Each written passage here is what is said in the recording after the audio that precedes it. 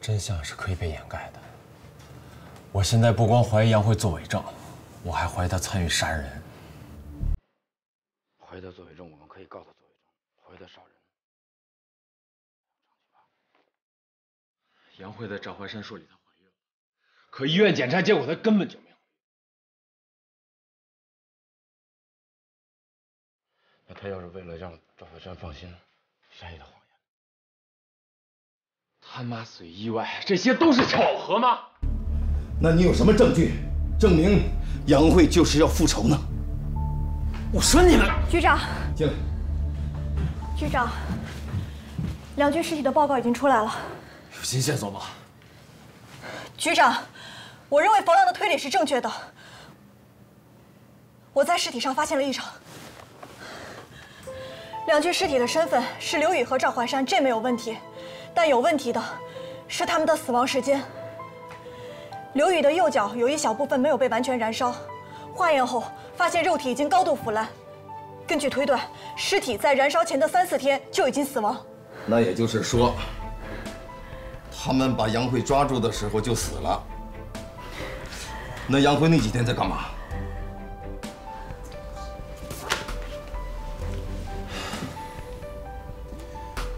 柳红颜死亡当晚，罗华跟踪赵旭南后，从杜成义的工地赶回城里，然后杀了柳红颜。这样说起来是没错，但是你们有没有想过，柳红颜的聚会结束时间根本就不确定。罗华怎么知道他大半夜赶回城里，柳红颜还没回家？有人提前通知罗华。如果柳红颜回家时间稍微早那么一点儿，那他们所有计划不就都泡汤了？局长，冯浪推理的完全正确。你别忘了，柳红颜、赵怀林、赵怀山、杜成义，他们就是十年前冤案的源头。现在已经解决了三个，就剩赵怀山了。也就是说，罗华和董科精密计划就差最后一步。为父报仇，计划这么多年，您是董科，您会这么轻易的自尽吗？董科走的时候，赵怀山已经死了。或者是董科知道杨慧作为十年前冤案的受害者，杨慧会亲自下手。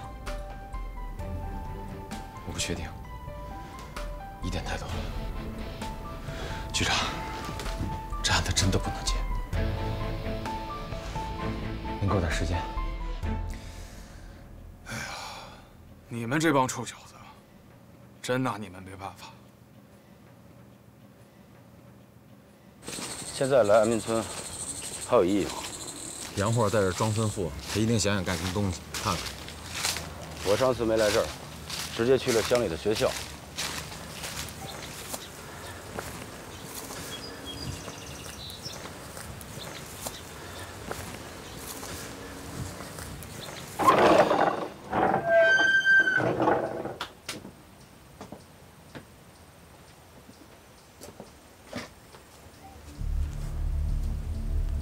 这儿也没人啊。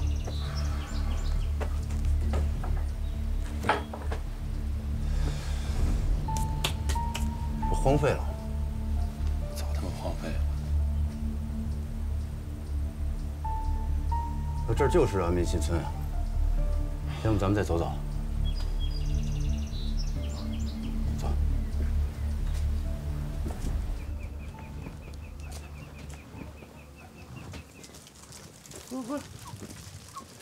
大爷，哎，大爷你好，啊，我问一下哈，您认识董科吗？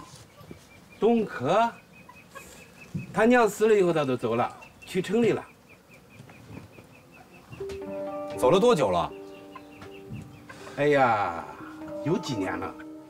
那您知道他为什么走吗？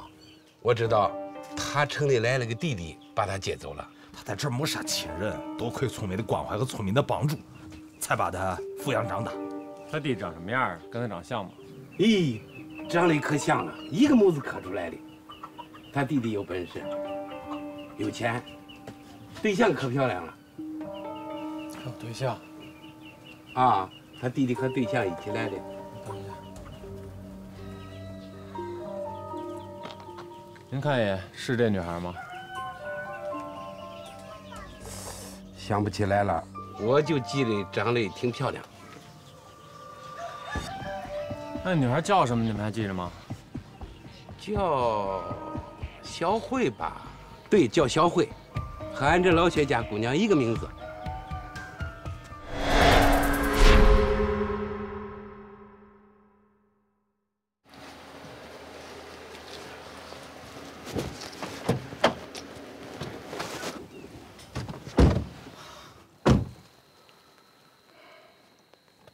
就没看出这村妇是杨慧装的呀？我操！范玉以前说过，杨慧是百年一遇的表演天才，这不怨你。他天才个屁的！上回着火那货仓查出什么线索了？上次就顾着解决杨慧，里面烧的焦糊，什么都没发现。现在能确定杨慧是同谋，我让去货仓看看。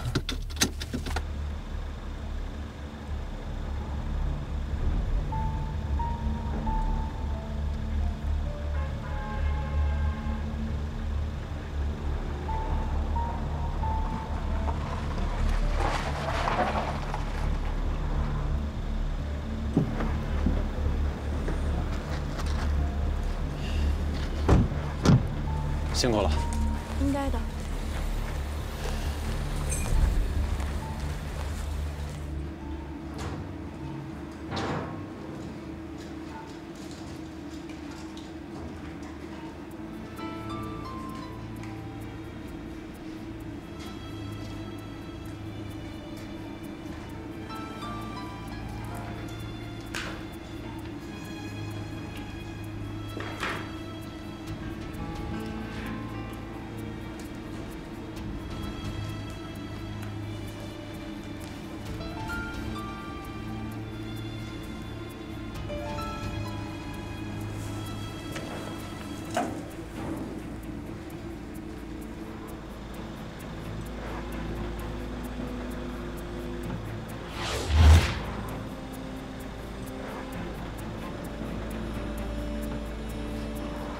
是有什么想法吗？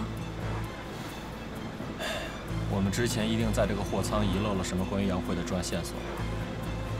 我们之前搜索物证，切入点在于杨慧口中绑架她的是两个男人。现在我们扩大了搜索证据的范围，那我们就假定这次交易是一场阴谋。只能这么想了。仔细搜查所有关于杨慧的痕迹，还有内镜。放心吧。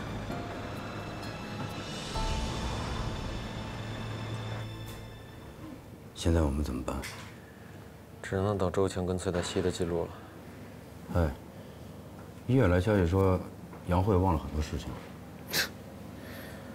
他都忘了，能怎么着啊？至少现在我们肯定他已经做了伪证。如果他说他做伪证是被逼的，我想法院也会从轻处理吧。等周晴吧。冯老马队，呃，周晴，有线索吗？应该有你想要的东西。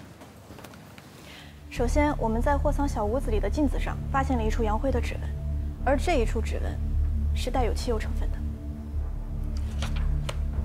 看来杨辉在货仓是自由的呀。也许他在出门前还照了照镜子，确定自己像个被害者。我想更重要的是，在整个货仓和小屋子里，我们没有发现任何刘宇和赵怀山的指纹。我想这应该可以证明刘宇和赵怀山从头至尾都被限定了人身自由吧。冯浪，这越来越像杨慧和董珂对赵怀山下的一圈套啊！看来我推断是对的，是杨慧杀了赵怀山和刘宇。可是杨慧杀人的直接证据，我们是没有的。马队，你要的材料。什么材料？马队让我找的刘宇的资料。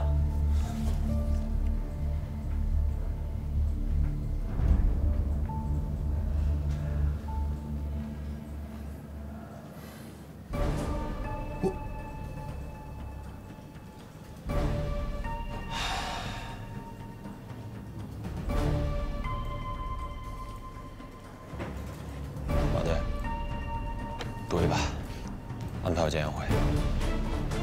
你是主心。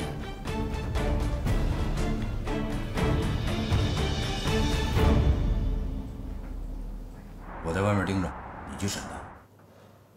杨辉，范云说的没错，你是我们见过最厉害的演员。我当警察这么多年，用表演掩盖犯罪，你还真是第一个。不想跟我聊？那行，我跟你说个故事。十年前，女孩的继父李明死于意外。当他和他妈妈都感觉天命难违的时候，罗华的父亲罗为民出现了。他告诉他们两个人，李明的死是赵怀山制药厂生产的假药害死的，并希望他妈妈可以站出来和那些受害者家属一起状告药厂。不久，他们双双死于意外，但他知道这不是意外，是谋杀。可他又能做什么呢？他被送到唯一的亲人，也就是他舅舅王琦家。可王琦根本不喜欢他。王琦非但没有照顾他，还百般的欺负他，让他心里产生了扭曲，有了复仇的想法。他找到罗华，他们一拍即合，复仇计划就开始了。罗华有钱有人脉，很快就了解了当年的真相。他们调查到，一共有四个人参与了当年的罪恶。柳红颜、赵怀林、赵怀山、杜成义。随后，他们又知道了董珂的存在，让复仇计划如虎添翼。在调查的过程中，女孩和罗华还变成了男女朋友。柳红颜死亡当晚，就是他给罗华发信息，让他掌握了柳红颜聚会的时间，才得以在当晚下手。然后，他们又利用针孔摄像头来监控赵怀林的一举一动，偷了他有犯罪证据的笔记本。利用赵怀林和杜成义的利益关系，上了一出叹为观止的街头杀人。同时，他又在接触杜成义，为他们的计划上了双保险。在他们杀了赵怀林之后，本来想用意外得到赵旭南杀害秦小婉的证据，逼赵怀山回国。可警方得到了线索，让他们计划受阻。当年最后一个罪人，他们迟迟下不了手。赵怀山又心狠手辣杀了罗华。我已经无限接近事实的真相，但是他装作村妇，又再一次给了我错误的信息，让他们的计划得以延续。赵怀山的妻子跟我说，女孩到他家是希望罗华回头是岸。新仇旧恨，他跟董珂怎么能放手呢？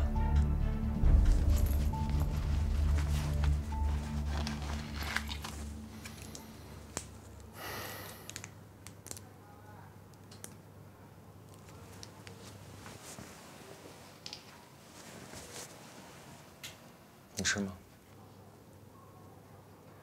其实范云最喜欢吃。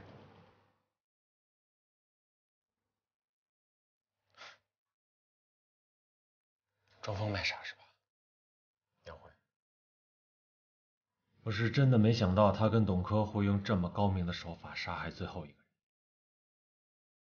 董珂在仓库守株待兔，而他楚楚可怜的去找赵怀山，说会用自己的性命换回他的孩子。还有个冤死鬼，赵怀山的助理杨慧。不得不说，他的表演真的是很一流。要不是我偶然看到范云，要不是我偶然看到范云给他录的话剧表演视频，我可能永远都找不到答案。杨慧，我告诉你。我不管他之前经历过什么，他的家人经历过什么，他都没有权利，也没有资格这么做。他应该相信警察，相信法律。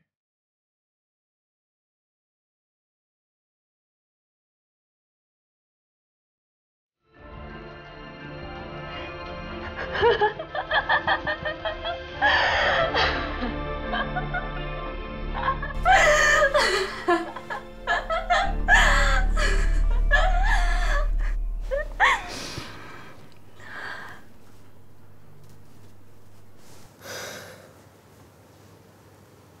知道那有多吓人吗？你说的简直太精彩了，我都忍不住给你大大的赞哦。是着急炫耀吧？啊，影后。冯浪，我告诉你，这里没有别人，大可以在你走出去之后继续装疯。对，你继续装疯卖傻，我也没有办法。但你是这种人吗，杨辉？你不惜自残，上演被两人虐待的戏码，这一步险棋你都敢走，找你的存在感。还是你可怜兮兮的优越感？你倒挺让人心疼啊！你要是心疼我，就应该心疼我失去了所有可以依靠的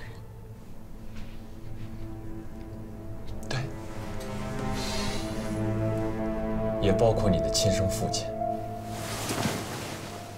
你没有经历过我所经历过的，所以你根本就不会感同身受。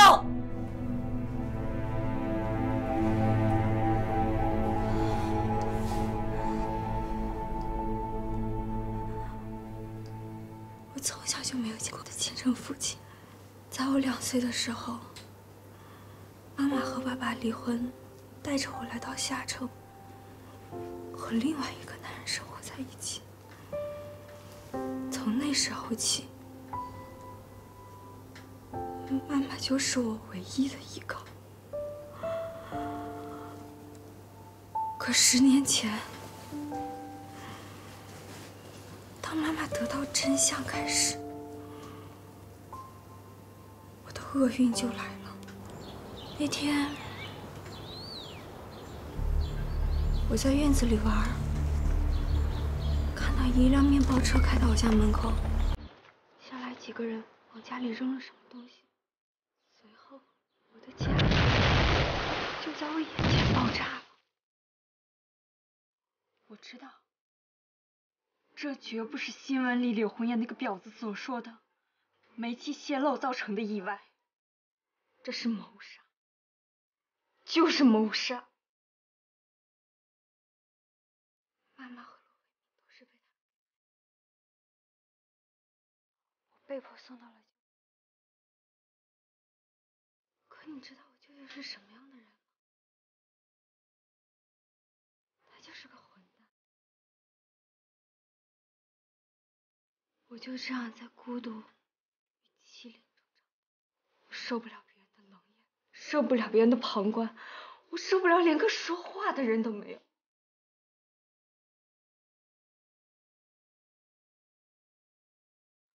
那些把我妈妈害死，是他们让我没有了温暖。我发誓，我要为妈妈报仇，我要为妈妈报仇。我就是别人口中所说的有娘生，没娘养的野孩子。可我有什么办法？我也想像你们一样，有人疼，有人爱，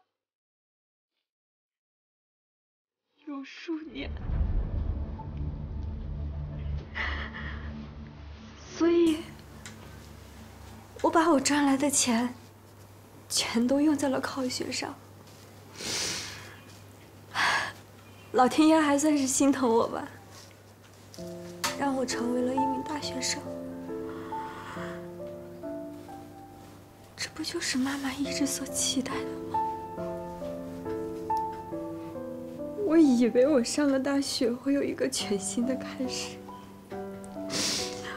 可我依旧是孤独的。我只有在表演，只有在舞台上，我才能感受到一丝丝的温暖。心怀希望，可现实中，我还是一个孤独的人。我没有可回的家，没有可倾诉的人。看着同学们需要父母给予他们的温暖，我为母亲报仇的想法就越发强烈。我原本想着，我可以找到我的亲生父亲，他会疼我、爱我，慢慢抚平我心中的仇恨。可我回到老家找的是，搬走了，搬走了，早就搬走了。我的亲生父亲，早已不知踪影。我连最后的温暖都奢求不来。现实还是黑暗的。我开始恨。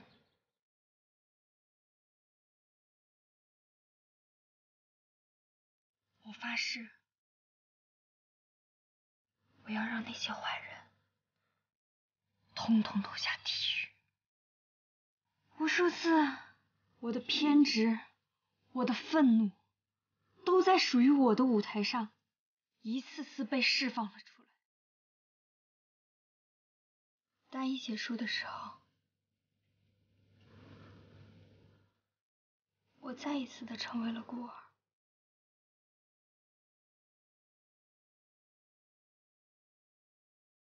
舅舅不再让我回他的家。走走走走走走走走走。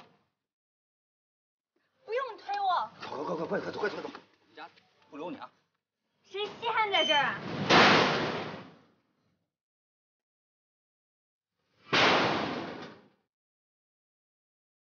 我，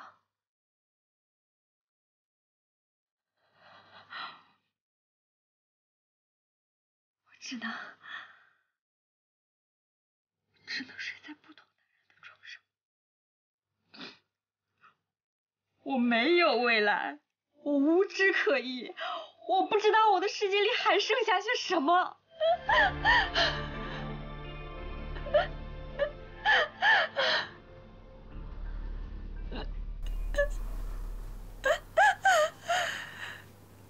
更可笑的是，电视里正在播着《我是明星企业害死我妈妈的下城制药厂被晋升为夏城十大名企，电视里不断赞美他们的广告语，让我恶心，让我愤怒。我要报仇，我一定要报仇。是他们，是他们夺走了我的幸福。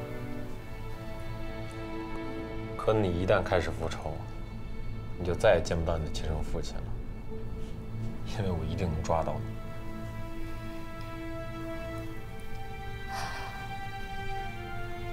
所以我要设计出最完美的计划，让自己全身而退。我还要寻找我的爸爸，那是我生命里缺失的部分，我一定要找回来。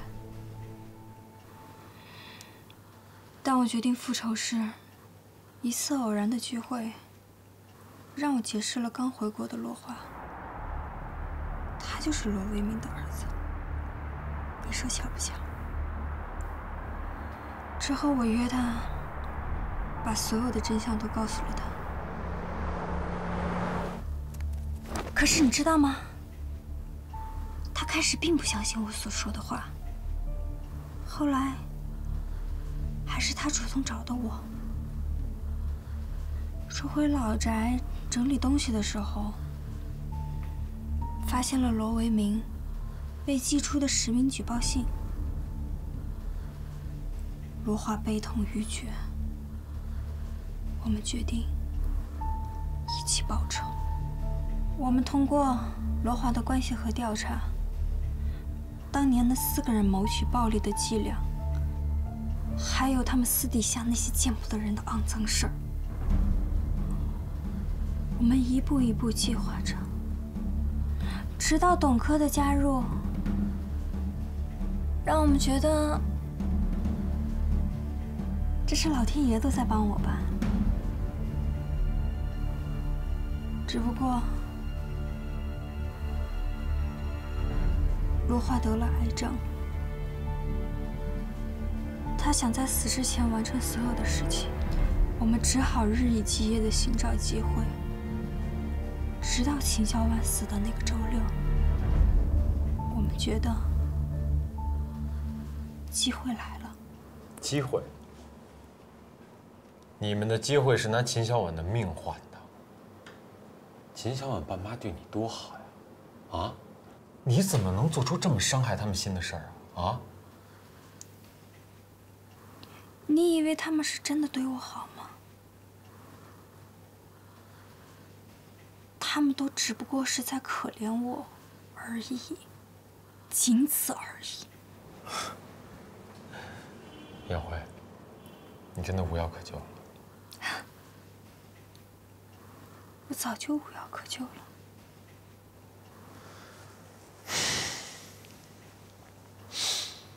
说说柳红颜吧。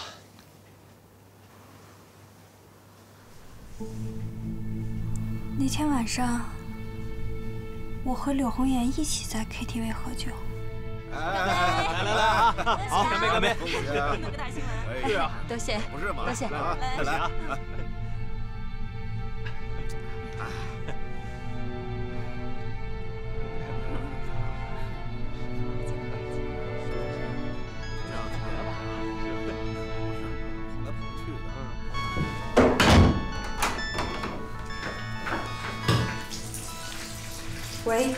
结束了吗？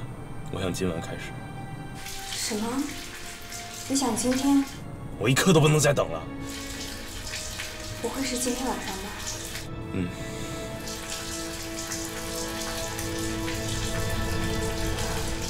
好。你大概需要多久？一小时。行，交给我，这单我来搞定。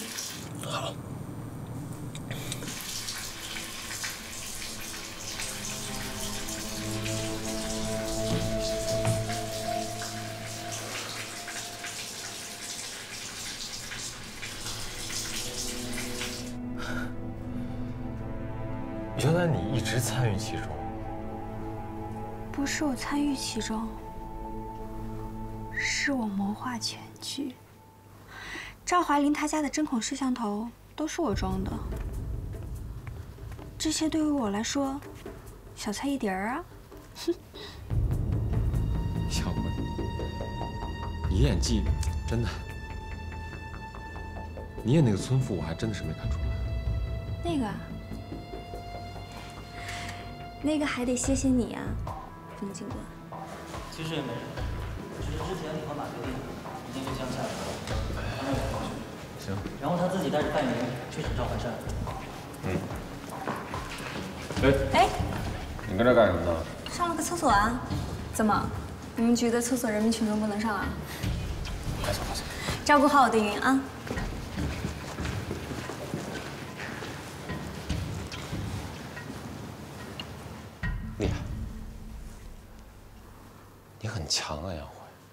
能够在那么短的时间内想到应对警察的方法。这也是没办法的办法。其实我那天状态吧，不是特别好。前一天罗华被秦风林杀死的时候，我就在旁边。什么？当时他还没有死。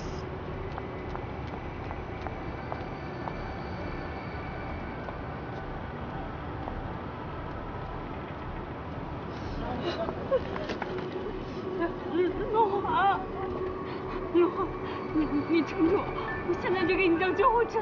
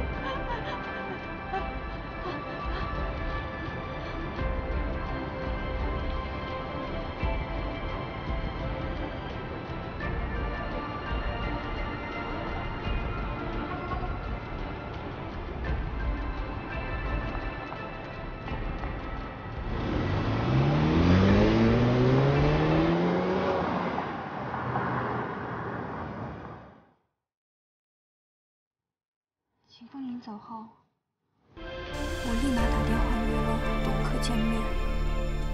决定让他扮演罗华，继续完成复仇。既然罗华都死了，那为什么不把所有责任都推到一个死人身上呢？这样可以让董珂全身而退，这不很好吗？可罗华是你男朋友啊，你怎么？谁告诉你他是我男朋友了？我们伪装成恋人，是多么好的保护伞啊！杨辉，你的演技还真的是能骗过所有人呀！在你决定董珂替罗华生存下去之后，你就在我全门村之前当着扮演村妇，准备给我错误信息了，对吗？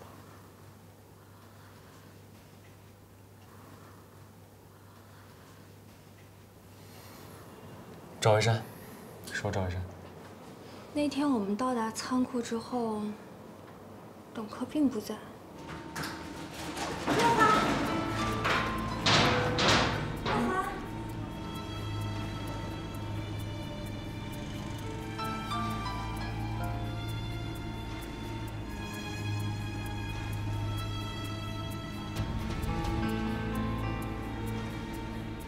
我儿子。过了一会儿，他挟持了一个司机进来。说赵怀山他还留了后手啊，赵老板，他只是我的司机，不要为难他。我儿子呢？老板，你啊！司机，无所谓是什么了。你抓了他们两个，就放了赵怀山的孩子。孩子是无辜的，孩子是无辜，司机就不无辜吗？无辜。当时放不放他，我也犯了难，放了他吧，我一定会被抓到。可不放他吧，我又害死一个无辜的人。可你为什么非要那么做呢？嗯？没有办法。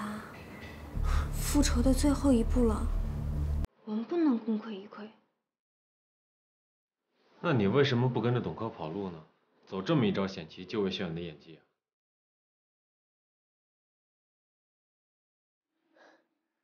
啊！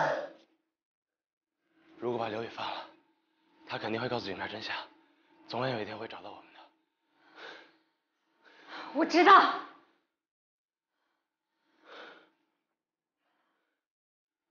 傻不傻？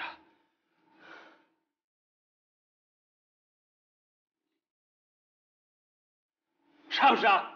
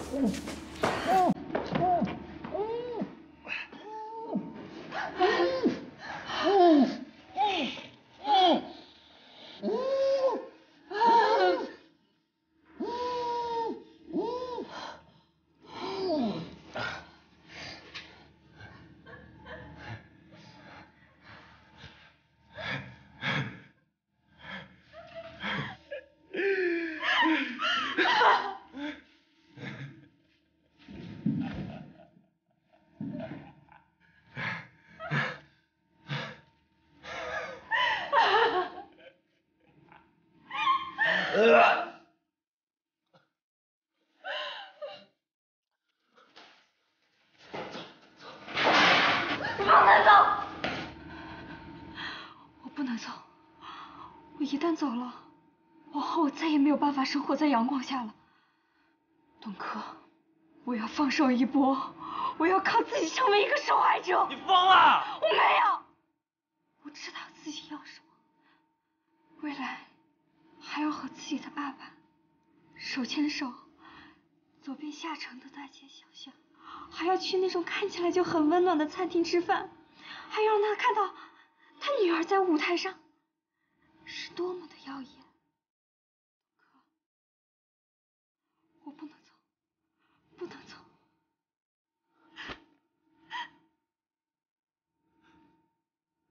不要成为一个赌徒。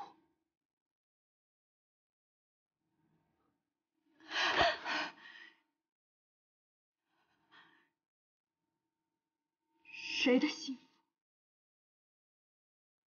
不是赌来的呢？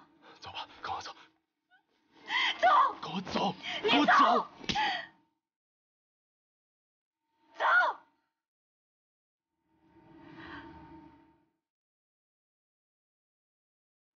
你走！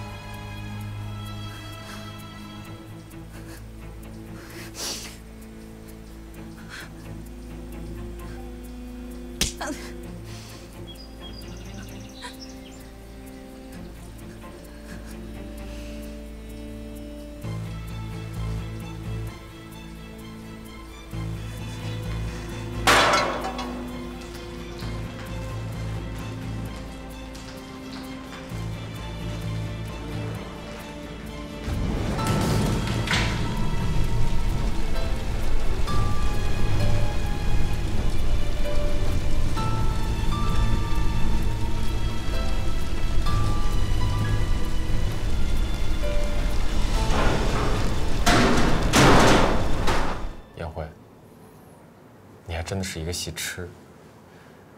为了演好一个角色，下这么大血本，你不知道你的伤口万一感染，你也会随时死亡吗？不可能。在我没有见到爸爸前，我是不会让自己死的。你有可能再也见不到他。冯警官，您别忘了，你们手里只有我做伪证的证据，没有杀人的证据。我相信，过不了多久，我就会没事的，对吗？杨辉，你太聪明了。你猜那个司机是谁？有什么问题吗？对你来说应该很特别吧？应该说，他就是你接下来生活的全部希望。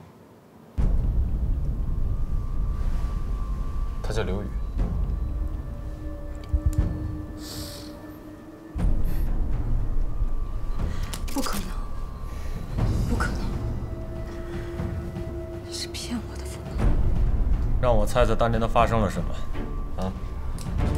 当年你妈把你爸抛弃了，他就发愤图强来下城打拼，找了一个离异的女人。这个离异的女人推荐他去赵怀山的制药厂，就这样，他做了十几年赵怀山的助理。不可能，方刚，你一定是在骗我的，你一定是在骗我的，对不对？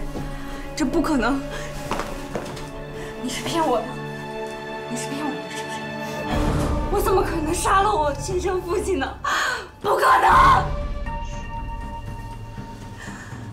刘宇死后呀，我们去他家查了，找到一张照片，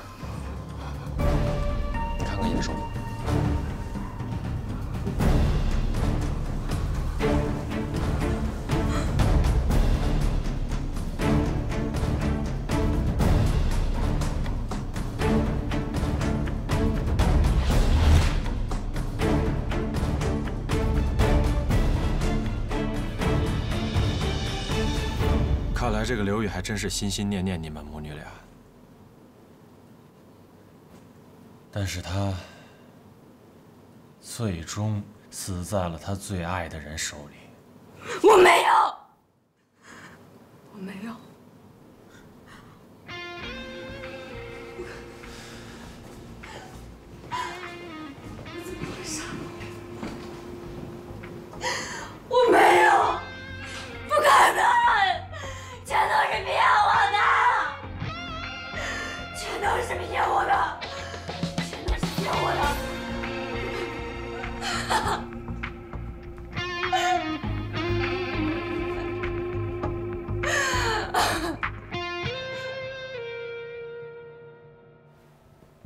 听医院的人说，杨慧疯了。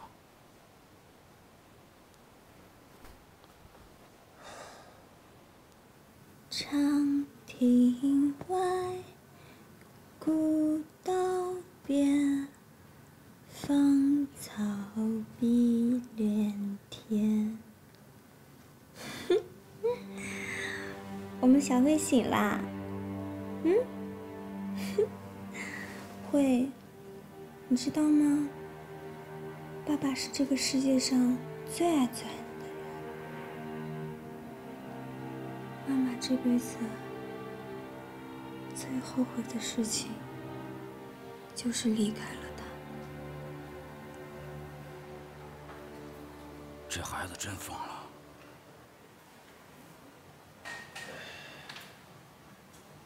你干嘛去啊？走，请我吃饭去。嘿，我是来请你吃饭的。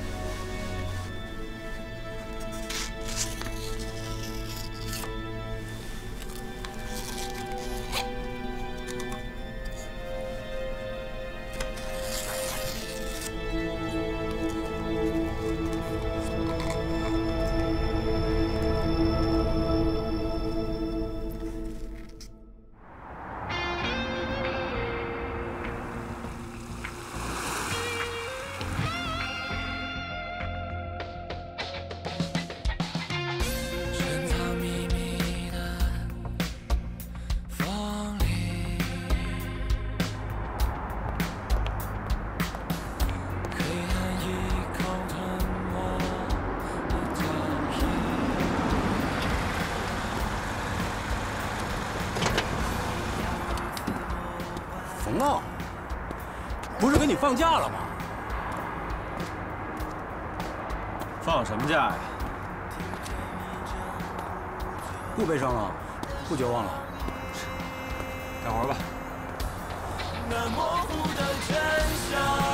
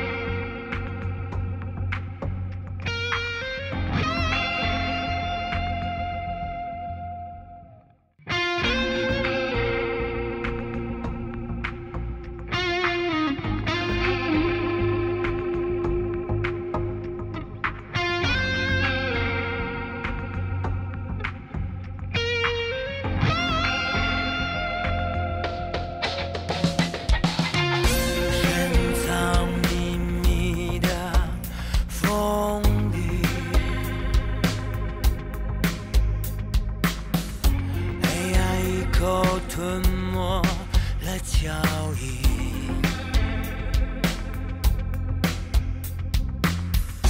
加入自我怀疑的陷阱听见一阵呼救的声音。那模糊的真相。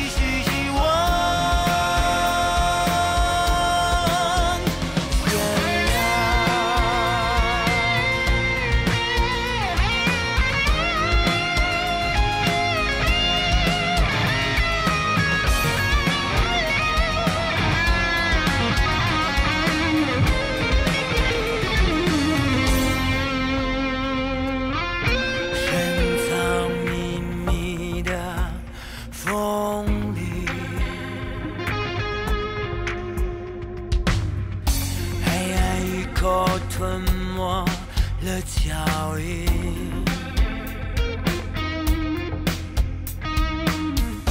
掉入自我怀疑的陷阱。